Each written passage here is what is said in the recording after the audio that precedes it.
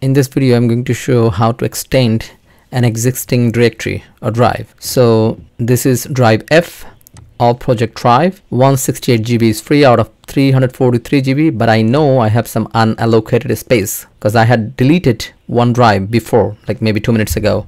So for sure I have some unallocated space and I need to extend that here or I need to merge that here in this drive F. So first win S.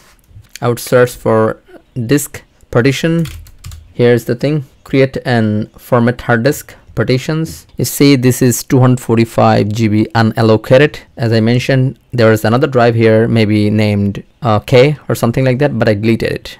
So first I need to merge this one with F. Now remember for the unallocated space or storage I can only merge that whoever next to the left which is F. I can only merge that to the F drive. I cannot merge it here or maybe here in H or in G or E. I can only merge that next to the left. Now before I do that I just need to make sure I'm merging the right and correct unallocated spaces. It says 245.15 GB unallocated. Let me see what does that sounds like in MB 240.15 GB to MB which is 245 150 okay let's keep that in mind. And now I would extend the volume. Next. Hmm.